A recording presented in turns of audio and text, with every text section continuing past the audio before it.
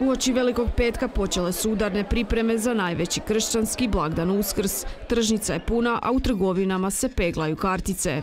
Potrošiti koliko god treba, jer je to jedini dan kad mi djeca sva budu tu, unučad i tako dalje. A što se uglavnom nađe na stolu za Uskrs? O, standardna stvar, šunkica, jajca, sira i vrhnja, luke, luka i tako. Što uglavnom kupujete? Pa znate, standardno, onoj, što se, što se za uskrs kupuje, jel? Tako da, ovaj, po starom običaju. A po starom običaju će se, iako je gospodarska situacija u zemlji iznimno teška, napuniti uskršnja košarica koja se mjeri u tri kategorije. bogatija koja ove godine iznosi 1594 kune, druga je ona srednja koja iznosi 1142 kune i treća je ona najskromnija koja iznosi 620 kuna. Najbogatija potrošačka košarica sadrži bakalar na veliki petak i janjetinu, a najsiromašnija završava na razini srdelica i svinskih lopatica.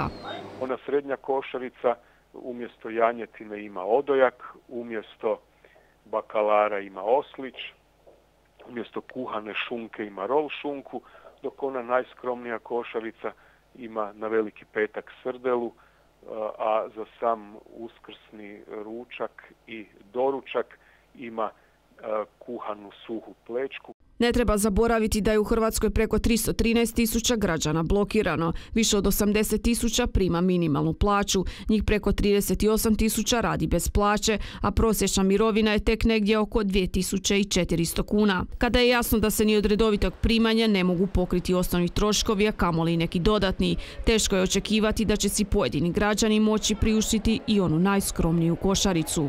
Pa ništa posebno, pošto posla se nema, ne radi nigdje niko. Ne možeš puno ni potrošiti. Nije bitno koji je praznik, da li je uskrs, da li je Bajram, da li je, nije bitno šta je, uglavnom sve je teže. Nemoj, molim te, tek sam u mirovnu otišao, nisam još ni dobio.